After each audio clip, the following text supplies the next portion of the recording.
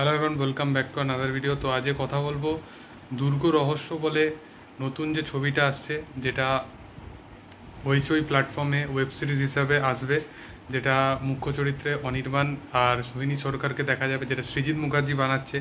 এবং অন্যদিকে দেবের ও ব্যোমকেশ্বর দুর্গ রহস্য একই কনসেপ্টে একই দিনে সেম দুটো জিনিস আসতে চলেছে, একটা সিনেমা হলে বড় পর্দায়, এবং আরেকটা আসতে চলেছে ওটিটিতে তো কে এগিয়ে থাকবে, কে পিছিয়ে থাকবে, আমি সেই রিগার্ডিং এখানে ভিডিও বানাতে আসিনি। তো আজকে দুর্গ রহস্যের একটা প্রথম কিছু আপডেট দেওয়া হয়েছে।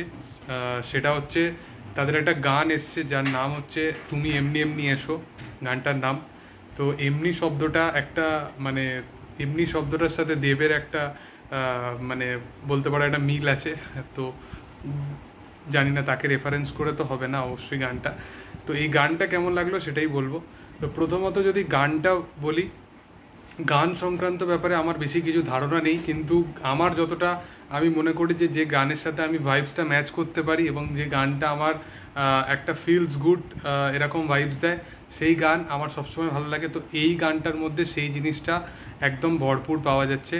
গানটা খুব সুন্দর লিরিক্স এবং বেশ এই গানটার ভিডিওটা যেভাবে শ্যুট করা হয়েছে, সেই ভিডিওটা একদম তার শ্যুটের সাথে গানটা খুব সুন্দরভাবে মেনটেন করেছে এখানে সৃজিৎ মুখার্জি।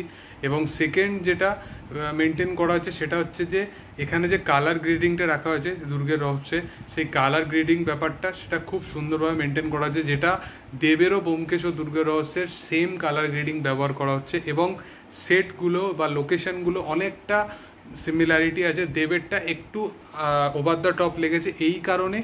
কারণ সেটা একটা টিজার দেখে দেখে দেখানো হয়েছে, এটা জাস্ট গানের একটা এক্সপ্লোরেশন দেখানো হয়েছে। তো জানি না কোনটা এগিয়ে থাকবে, কোনটা পিছিয়ে থাকবে, এটা কম্পারিজনের ব্যাপারই নেই, যেটা আগিয়ে থাকবে সেটাই আমাদের বাংলা ইন্ডাস্ট্রির জন্য ভালো। এবং দুটোই খুব ভালো রমরমিয়ে চলবে। আমার এটা নিয়ে প্রচুর আস্থা আছে। এবং দেব একটা নিজে একটা, এক- একটু আগে ফেসবুক পোস্ট করেছে যেখানে বলছে যে সেখানে সিনেম্যাটিক শটগুলো দুর্দান্তভাবে নেওয়া হয়েছে এবং ব্যোমকেশের মতো একটা সিনেমাতে সিনেম্যাটিক শট নেওয়া খুব প্রয়োজন হয়, যেখানে একটা বিল্ডিং ওরিয়েন্টেড বা একটা জায়গাকে কেন্দ্র করে শ্যুটগুলো হয়, সেখানে ক্যামেরার কাজ যদি না ভালো হয়, সেখানে মানুষকে কিন্তু ওই স্ক্রিন প্লেটা ধরে রাখতে পারবে না।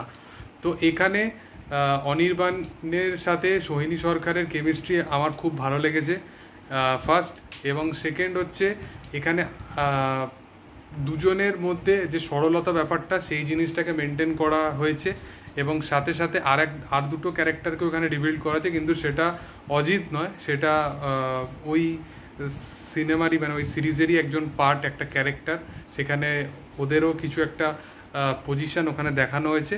কিন্তু যেভাবে লোকেশন ওয়াইজ বা যেভাবে ওই বিল্ডিংগুলো কেন্দ্র করে যেভাবে শ্যুট করা হয়েছে এবং গানটা সাথে সাথে যেভাবে জিনিসটাকে এক্সপ্লোর করা হয়েছে আমার জিনিসটা খুব ব্রিলিয়ান্ট লেগেছে।